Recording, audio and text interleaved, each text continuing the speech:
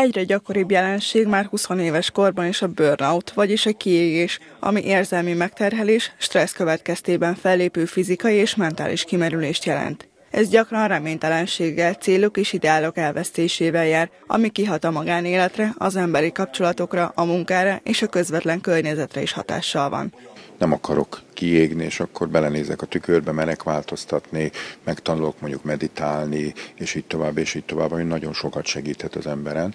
De ez jóval inkább egy egyszerűbb mód, hiszen este az ember fekszik az ágyba, és fejébe ott a gondolatok a hülye főnökömről, a hülye beosztatjaimról, a munkáról, amit utálok, stb.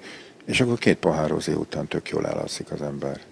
A kiégés nem statikus, egyszerű jelenség, hanem egy folyamat, amely ciklikusan ismétlődik. Az egyén és a munkahely egyaránt felelős a kialakulásért, ezért a ciklus módosításához ennek a két tényezőnek a megváltoztatása szükséges. Ez lehet megelőzés, vagyis prevenció, és beavatkozás, vagyis intervenció. A prevenciós célú stresszkezelő tréningek mellett fontos a munkán kívüli rekreációs feltöltődést biztosító lehetőségek számbavétele is.